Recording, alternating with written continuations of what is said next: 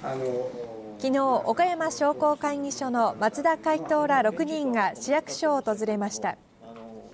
岡山商工会議所と4つのプロスポーツチームなどは今月から新アリーナの実現に向け試合の会場やオンラインなどで署名活動を行っています。おとといまでにおよそ1万2000人分が集まり来月中に10万人分を目指します。岡山市が北区野田に整備を検討している新アリーナは総事業費がおよそ145億円とされ市は県全体に経済効果が波及する事業として費用の一部を岡山県に負担するよう求めています。プロチームの人たちが教えて県民の皆さん方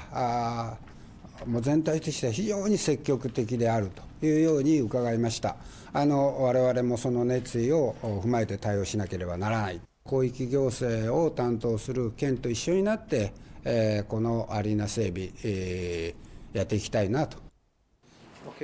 松田会頭は5万人程度の署名が集まった段階で茨城知事にも中間報告したいとしています